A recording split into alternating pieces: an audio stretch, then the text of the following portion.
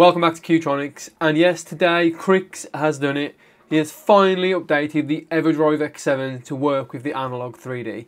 And you know what? He only got his console on Monday, and we're two days in, and he's already got an update. As you can see on my screen now, it said fixes for the Analogue 3D have been released. So let's get into there and read his messages. So as he points out here, he got his sample and it's working now. So basically what we need to do is download a new OS and a new boot ROM. So basically what he said is all future purchases now on will have this new bootloader, so nothing will have to worry about it. But the caveat here is to get your existing X7 working, you need an original N64 as we can't boot into it on the analogue. Now, that's not strictly true. He did say if you don't have an original N64, you can solder a 1K pull down resistor to to the pin AD7, which again, do you want to mess with your EverDrive in that way? Maybe not. I probably could get away with it and do it, but I have an original N64, so we're not going to do that. Right, let's get the stuff downloaded, get it updated, and show it working. Right, let's go. So I've already downloaded the OS and I've downloaded the boot ROM. So if we head over to my documents, we will see them here. I've extracted the OS. So we've got a brand new ED64.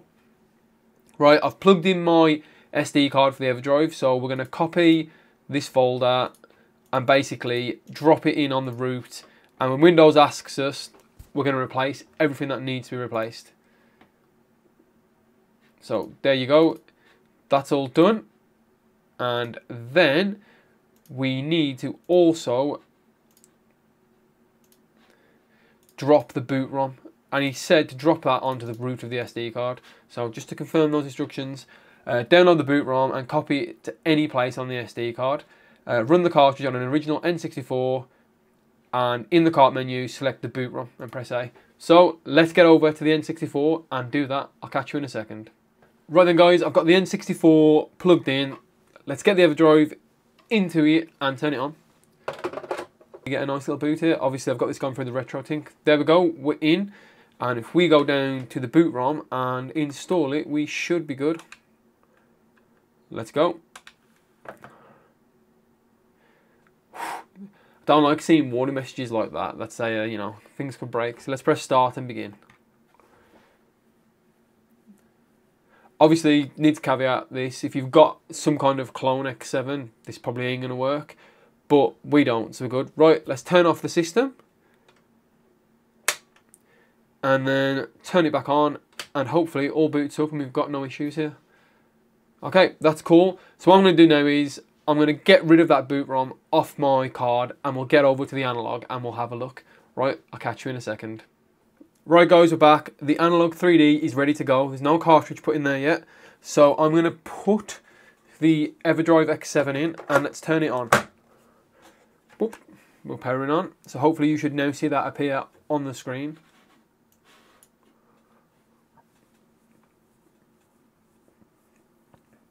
Obviously I'm screen sharing, so there's a little bit of a delay here for this guys for me to see it and you see it at the same time. But I just wanted to film it being in and then on the screen.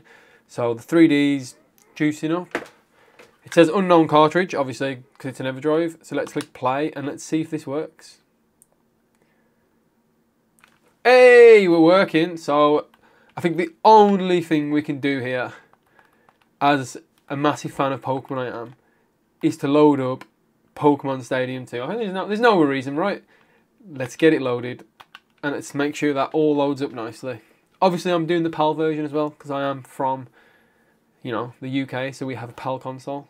And there we go. Look at that in all its glory. Now, obviously, I've not messed with any of the settings or anything to change how it looks. I just wanted to show you straight off the bat how it was working now with the EverDrive. So, there you go, guys. It's that simple to update your EverDrive and get it working now and unlock that library of games.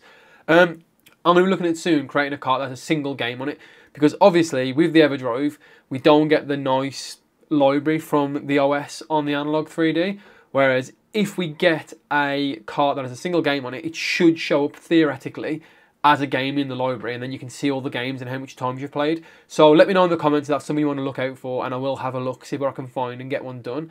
Anyway, other than that, guys, I will be giving away a Nintendo Switch OLED modded when I hit 2,000 subs. So if that's something you're interested in or you found this video useful, Don't forget to subscribe as it really helps the channel to grow, and I'll catch you later. See ya.